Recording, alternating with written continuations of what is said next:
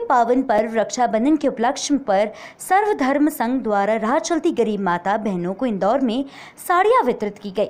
सर्वधर्म संघ के अध्यक्ष मंजूर बैग ने बताया कि भाई बहनों का ये सबसे बड़ा त्यौहार है। हमने प्रतिवर्षानुसार इस साल भी फुटपाथ पर गुजर बसर करने वाली व गरीब महिलाओं को साड़ी वितरित की है। महिलाएँ इससे काफ़ी खुश नज़र आ रही थी। उनमें हर्ष और उत्साह की किरण दिखाई दे रही थी। राजवाड़ा स्थित गुरुद्वारे से लेकर लक्ष्मी मंदिर एवं अहिल्या प्रतिमा के आसपास फुटपाथ पर बैठी महिलाओं को साड़ी वितरित की गई है। इस अवसर पर रियाज खान, समीर बैग, गोलू खान, सतीश शर्मा राजाबाई मौजूद रहे।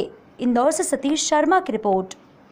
संघ पिछले 20 से 25 वर्ष से गरीब बेसहाराओं के लिए काम कर रहा है। इस संघ के माध्यम से चाहे वो कोई भी वर्ग का काम हो, हिंदू का हो, मुस्लिम का हो, सिख का हो, ईसाई का हो, हम संघ के जो पदाधिकारी हैं हमारे साथ, ये सभी लोग बड़े खुश होते हैं हम जब कोई ऐसा त्यौहार आता है और उसको हम गरीबों के बीच बांटते हैं। तो इस कड़ी में इस बार राखी पे भी हमने लॉकडाउन का समय है। बड़े घर में राखी बन जाएगी, सब जगह राखी बन जाती है, लेकिन गरीबों के बीच बहुत कम लोग पहुँच पाते हैं। ये निर्णय लिया कि इस बार हम राखी पर राह चलती महिला और फुटपाथ पे जो घर बसा के अपना जीवन गुजार रहा है। इन लोगों को रात को हमने और कल दोपहर में साड़ियों का वितरण किया।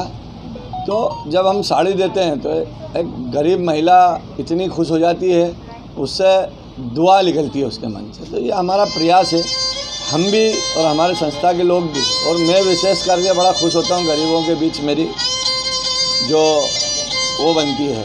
तो आज मैंने जो गरीबों को ये मदद की राखी का साड़ी वितरण की है तो निश्चित तौर पर हमारा संगठन के सभी पदाधिकारी खुशी है और हम चाहते हैं कि हम हमेशा ऐसा कार्य करते रहें और गरीबों के बीच हमेशा बने रहें। आप यशवंत रोड के प्रमुख व्यापारी भी हैं और आज से प्रशासन ने लेफ़्ट राइट सिस्टम को खत्म करते हुए पूरी तरह से बाज़ार खोलने का आदेश जारी कर दिया। इसको लेकर आप क्या कहना चाहेंगे? पिछले जब से लॉकडाउन हुआ है इंदौर की जनता ने लगातार और व्यापारियों ने लगातार लॉकडाउन का पालन किया है और पिछले कई हफ्तों से लगातार मैं मांग कर रहा था कि लेफ़्ट राइट वाली बात जो है, पूरा इंदौर खुलना चाहिए। क्योंकि अब व्यापारी मर चुका है, व्यापारी की कमर टूट टूट आम जनता, आम मध्यम वर्ग टूट चुका छोटा व्यापारी टूट चुका है। तो आज जो निर्णय लिया पूरा इंदौर खोलने का, ये स्वागत योग्य है और आगे भी इंदौर इसी तरह चलता रहे और इंदौर शीघ्र ही ईश्वर करे कि जल्दी पटरी पे आए और सबका घर पालन पोषण हो। आपका नाम और मंजूर बेग अध्यक्ष सर्वधर्म सन इंदौर।